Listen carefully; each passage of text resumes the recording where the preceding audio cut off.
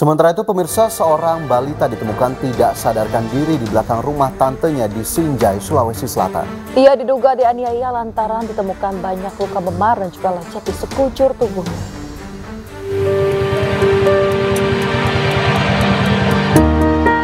Balita tiga tahun ini dirawat di rumah sakit umum daerah Sinjai, Sulawesi Selatan usai ditemukan tidak sadarkan diri di belakang rumah tantenya. Diduga balita ini korban penganiayaan lantaran ditemukan luka memar dan lecet di sekujur tubuhnya. Awalnya, balita Malang ini pergi bermain di sekitar rumahnya di desa Lapabose, Kajuara Bone, Sulawesi Selatan. Karena tak kunjung pulang, korban dicari hingga akhirnya ditemukan tantenya tak sadarkan diri di belakang rumah. Korban akan menjalani CT scan untuk memastikan tidak ada cedera pada kepalanya. Sekarang awalnya kan dia kesadaran menurun masuk di GD. Sekarang ini di perawatan bedah setelah menangani beberapa uh, pengobatan dan terapi pemberian oksigen, uh, dia sudah kesadaran penuh, kesadaran kompos mentis dan rencana selanjutnya itu tentang uh, mau dilakukan uh, CT scan kepala. Dan selanjutnya kalau ada hasilnya nanti dilapor sama dokter penanggung jawab pasien yaitu dokter Kahar Anis. Iya, apakah uh, ada perdarahan atau tidak? Korban diketahui kini dirawat ayah dan tantenya karena sang ibu bekerja di Malaysia. Umur berapa tahun? Keluarga korban sudah melaporkan kejadian ini ke polisi Kenapa? untuk ditindaklanjuti. Kenapa? Dari Sinjai, Sulawesi Selatan, Bulan Sri Indramaya, Ainus melaporkan. Pemirsa untuk mengetahui informasi terkini kita sudah terhubung dengan Kadit Pidum Polres Bone Ibtu Fadli Yusuf. Selamat pagi Pak Yusuf. Pak Yusuf terima kasih sudah bergabung bersama kami di lapor polisi Pak.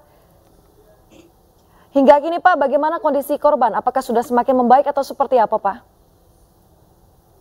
Baik, terima kasih Mbak eh, atas kesempatan yang diberikan kepada kami. Eh, untuk korban sendiri masih mendapatkan perawatan medis di Rumah Sakit Sinjai. Sehingga perkara ini benar telah dilaporkan oleh eh, telah dilaporkan di Polsek Pejuara, kemudian dilimpahkan ke Satreskrim Polres Bone dan eh, teman-teman penyidik sementara melakukan proses penyidikan, Pak. Demikian. Oke, dari hasil pemeriksaan sendiri, apakah kemudian sudah dapat dipastikan jika balita ini memang korban penganiayaan, Pak Yusuf? Baik, berdasarkan fakta-fakta yang ditemukan oleh penyidik bahwa benar balita ini yang ini Ya, Pak Yusuf. dianiaya oleh eh, keluarganya sendiri, inisial ya halo, Ya, silakan Pak, lanjutkan. diduga dianiaya oleh keluarganya sendiri eh, ada tiga anak, yakni inisial FR, kemudian inisial APR dan inisial eh, RS. Dan eh, perkara ini sudah dalam proses penyidikan, Mas. Oke, tapi eh, bisa kemudian dijelaskan kembali mungkin Pak Yusuf, ini seperti apa kemudian akhirnya kronologis penemuan balita tadi yang akhirnya ditemukan dengan luka di sekujur tubuhnya? Baik, Mas. Jadi kejadiannya ini pada hari Sabtu tanggal 27 Januari 2024 sekitar pukul 1 atau siang hari, Mas. Kejadiannya ini eh, di dalam rumah berawal dari korban anak ini menangis sehingga eh, si anak ini tidak mau terdiam. Ah, salah satu pelaku ini yang juga di bawah umur menggigit si korban. Ah, kemudian setelah digigit korban eh, tetap menangis. Eh, satu anak lagi inisial FR ini lakukan eh, aniaya dengan cara memukul menggunakan sapu hijau. Ah, setelah itu datang lagi pelaku satu inisial APR melakukan penganiayaan dengan memukul menggunakan eh, selang karet, Mas. Seperti itu kejadiannya. Nah, setelah dilakukan penganiayaan, korban eh, meminta izin kepada pelaku ingin buang air besar. Yang bersangkutan keluar dari rumah, pada saat eh, keluar dari rumah belum sampai ke tempat buang air besar, yang bersangkutan pingsan.